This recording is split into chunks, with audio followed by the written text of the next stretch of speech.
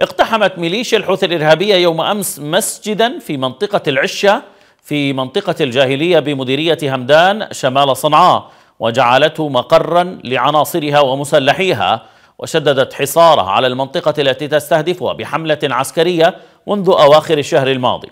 وقالت مصادر محلية أن مجاميع من مسلح الميليشيا الإيرانية اقتحموا مسجد منطقة العشة واتخذوا من مرفقات من مرفقات المسجد مقرا لعناصر الميليشيا الذين استخدمتهم ليمارسوا جملة وحملة من الاعتداءات المستمرة بحق أبناء المنطقة.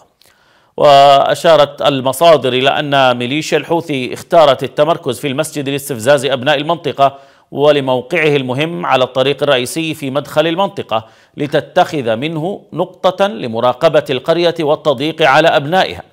يشار إلى أن الميليشيا الإيرانية الإرهابية تشن حملة عسكرية على المنطقة منذ ثلاثة أسابيع داهمت خلالها منازل المواطنين ونهبت أموالهم وممتلكاتهم واختطفت العشرات من بينهم عشرين شخصا ما يزالون في سجون الميليشيا الإمامية.